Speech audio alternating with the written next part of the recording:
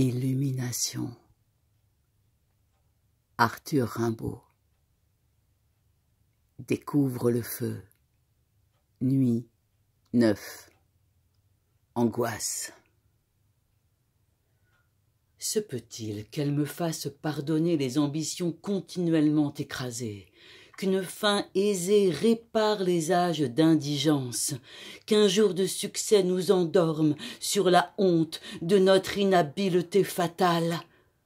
Ô palme, diamant, amour, force, plus haut que toutes joies et gloires, de toute façon, partout, démon, Dieu, jeunesse de cet être-ci, moi, que des accidents de féerie scientifique et des mouvements de fraternité sociale soient chéris comme restitution progressive de la franchise première?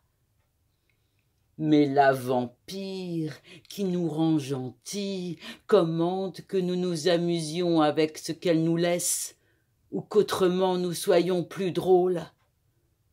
Rouler aux blessures par l'air lassant et la mer, au supplice, par le silence des eaux et de l'air meurtrier, aux tortures qui rient dans leur silence atrocement houleux.